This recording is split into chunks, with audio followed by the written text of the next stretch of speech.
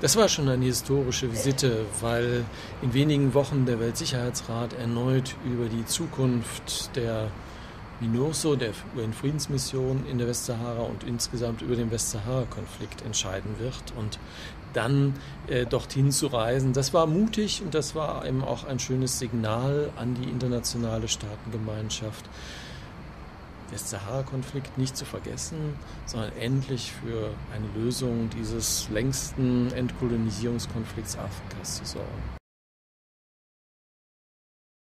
Ban Ki-moon hat ganz klar gesagt, bei seiner Visite, er will dafür sorgen, dass es wieder auf die Agenda der internationalen Staatengemeinschaft kommt und dass man vor allen Dingen darüber redet, wie man Fortschritte machen kann. Weil wir haben ja seit 1992 eigentlich eine absolute Blockadesituation. Seit also 24 Jahren warten die Sauis darüber, dass sie endlich an so einer Volksabstimmung sich beteiligen können. Und er wollte jetzt mit seinem Besuch da auch Impulse geben und sagen, das muss wieder auf die die Agenda.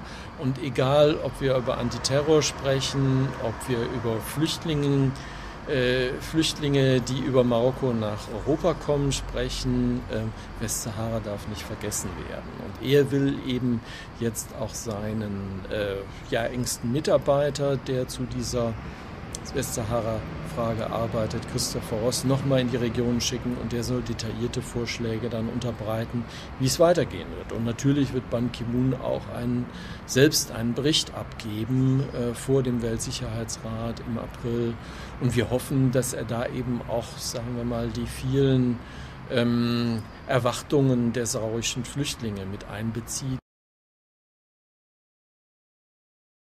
Nein, sie hat sich gar nicht gefreut. Sie hat monatelang versucht, diesen Besuch zu verhindern, ganz zu verhindern oder wenigstens zu verhindern, dass er vor dieser Debatte im April im Weltsicherheitsrat stattfindet. Sie wollten zum Beispiel ihm vorschlagen, dass er doch im Juli reisen sollte, aber Ban Ki-moon hat sich nicht daran gehalten.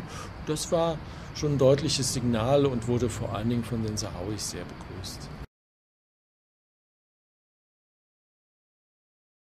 Eigentlich sehr, sehr bescheiden, weil ähm, es gibt immer wieder humanitäre Probleme. Gerade in diesem Jahr hat es große Schwierigkeiten gegeben, als Naturkatastrophen die Teile der Lager zerstörten.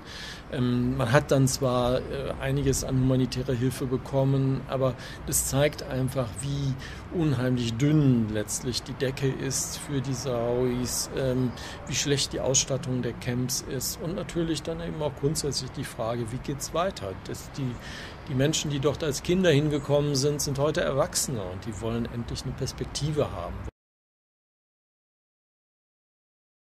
Die Europäische Union müsste erstmal zu einer einigen Stimme finden. Das ist ein ganz schwieriges Unterfangen, weil es in der Europäischen Union einige Staaten gibt, die sehr eng mit äh, Marokko zusammenarbeiten, insbesondere Frankreich. Frankreich hat immer die Interessen Marokkos vertreten in der Europäischen Union, aber auch Spanien ist sehr leicht erpressbar dadurch, dass es Nachbarland ist und wenn äh, sich Spanien nicht so verhält, wie äh, Marokko das wünscht, äh, dann öffnet man eben einfach die Grenzen und lässt Flüchtlinge in das Land. Das hat man mehrfach so exerziert und das hat immer Spanien sich gemerkt und ist jetzt vorsichtig.